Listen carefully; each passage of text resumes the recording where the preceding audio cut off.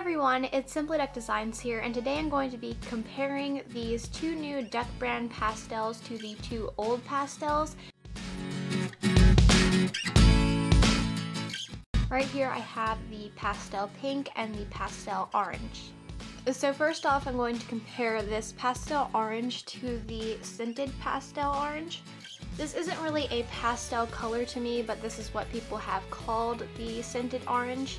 It's really called like creamsicle or something like that. But as you can see, there is quite a difference between these two. This one is much, much lighter, and I like this one a lot better actually. But I think these two colors would actually make a really good wallet together. So there's quite a difference there.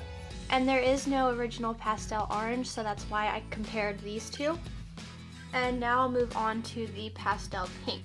So here is the new pastel pink. It's almost kind of like a purplish color to me, but it's very pretty. And the cool thing about these new pastels is they do come with 20 yards.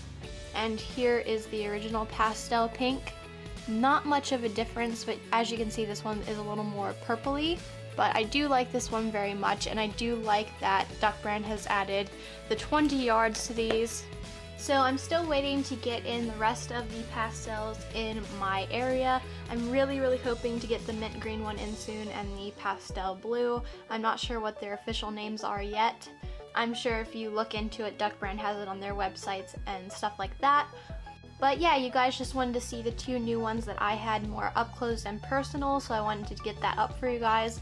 Thank you all so much for watching. If you haven't already, please subscribe. I'd love to have you guys here on my channel. Don't forget to check out all my links down below, and that will take you to all my social media websites. Once again, thank you all so much for watching, and I will talk to you all in the next video. Bye everyone! And then on the inside, it's paired with the ocean blue and the seams are clear taped. At the top there's an ocean blue billfold, which is hard to see but on this side there are four credit card holders trimmed in the